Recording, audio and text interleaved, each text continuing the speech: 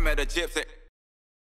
How did the HRC thing then happen? Like, obviously, you- you'd done enough, like, you'd showed enough promise, but to everyone, that seemed like a left to center move. And it was funny. I actually can say that I said Mitch should 100% do a 450 because it seemed like everyone was being like, he's got to go on the 250s. He's going to get smoked Yeah. in there. Then he's going to have one year in the 450s. Then he's going to be done. And I was like, I feel like Mitch can probably do extremely well on a 450 there. So, how did that come about? And when did you think it was going to be an option? And, like, do you know what they even saw in you? Because to everybody, it seemed very left field. Yeah, so th- at first, again, it was that RedBud thing. Um, Yeah, right. because I battled with Kenny in the in the second moto there, like all the HRC guys obviously seen that, and then it was that first moto at Matterley Basin where I almost got lapped. I That's so funny, dude. Like, imagine that if you're like, all right, I'm probably not going to win this race because I'm going to get a shit start. So, what I'll do is I'll just wait and then I'll go three seconds in front of everyone and just stay there the whole time. And I'll just, you could like almost win. You could like last place win every moto for the season. That'd be pretty sick. yeah, but like that, it's funny because like you know after that weekend I was pretty disappointed, and then I get to Valkenswaard the next weekend, and Giacomo pulls me to the side and he goes, "Hey, you know, like they were really impressed with that first moto." I was like. I finished 35th. no, but like you're riding really good, you know. They can see that if you get a good start, you're going to be able to run with them. So they want you on the 450. And I was like, okay. sweet. Really? After that? So, it was uh, all the way back then? Yeah.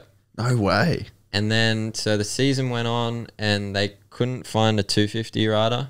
So by Russia, which was around eight or nine, they're like, maybe we're going to put you on the 250. And I was like, trying to think of all the positive things, you know, like, yeah, okay, maybe I do need another year. I can build up a bit of money, blah, blah, blah. And, and then in the end, I was just went to them. I said, look, I want 450. And they came back to me and said, yep, we want you on the 450. So, when was that about? I think by so Loket was was which was end of July. I think I signed. So, like Like halfway through the season almost? Yeah, oh, a little bit after halfway. Yeah. Um, I think there was yeah like five or six rounds to go. That's crazy that it was that far back. How did it feel knowing that you had that deal going? Yeah, well, it, you know, at the time, because I was in such a bad place with not enjoying it and whatnot, I was like, do I even want to sign it? That's of thing. crazy. Yeah, and It I- makes sense. Like I know how hard it is Yeah. living away, but if you think back now, to think the headspace that you would have been in to like want to turn down a deal Yeah. with the best team in the pl- like on the planet, like it, it, I get it, but it's crazy to think, right? Yeah, yeah. And you know, like I, n- sitting here now, I'm like, thank God I didn't turn that down.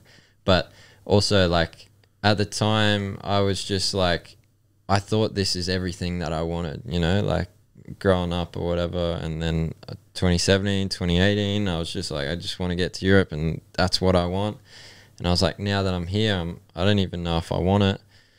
And so, mum and dad were like, just you know, we'll try one more year. Um, we, we'll do it, and and so ended up signing. And uh, like I came home and everything was announced, and I'm here. You know, I go and see all my friends or whatever, and people from motocross, and they're like, man, like how sick is it? Like you're you're team HRC. That's so amazing. And I'm just like, yeah, I mean, okay, like. And then I was starting to think, you know, like okay, well, maybe it is good. And Yeah.